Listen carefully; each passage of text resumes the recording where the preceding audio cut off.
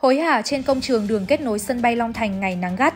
Sau nửa năm thi công, đến nay gói thầu 6.12, đường giao thông T1, T2 kết nối sân bay Long Thành đã thành hình. Đường lớn đã mở, kéo dài từ quốc lộ 51 vào đến cổng số 1 của sân bay Long Thành. Gói thầu này có giá trị hợp đồng hơn 2.630 tỷ đồng.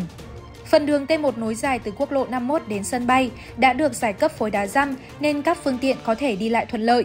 Khu vực xây dựng cầu, các nút giao cũng đã được triển khai đồng bộ. Dù thời tiết nắng nóng nhưng các kỹ sư, công nhân vẫn thi công hối hả, bức tốc ở các hạng mục.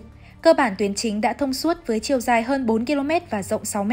Đơn vị thi công đang đảm bảo 3K 4 kíp để hoàn thiện dự án theo kế hoạch đề ra. Nhiều trụ cầu bê tông trên tuyến chính cũng đã lộ diện, các công nhân đang tiếp tục thi công phần sắt ở các trụ.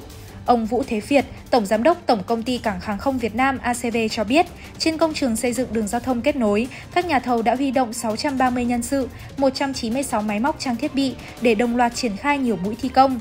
Tới nay đã triển khai phát quan dọn dẹp, đắp đất K95 đường công vụ, đồng thời giải cấp phối đá răm nhiều đoạn tuyến, thi công cọc khoan nhồi, cọc xi măng đất. Thời gian triển khai dự án là hơn 2 năm.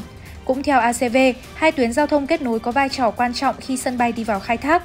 Trong đó, tuyến T1 còn có vai trò là cung đường vận chuyển máy móc, thiết bị có tải trọng lớn, các cấu kiện siêu trường siêu trọng phục vụ thi công sân bay.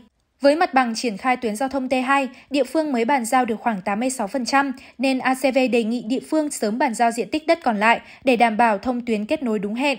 Về vấn đề này, quyền Chủ tịch Ủy ban Nhân dân tỉnh Đồng Nai cho biết, trước ngày 15 tháng 3, Đồng Nai sẽ bàn giao phần diện tích còn lại để triển khai đường giao thông kết nối.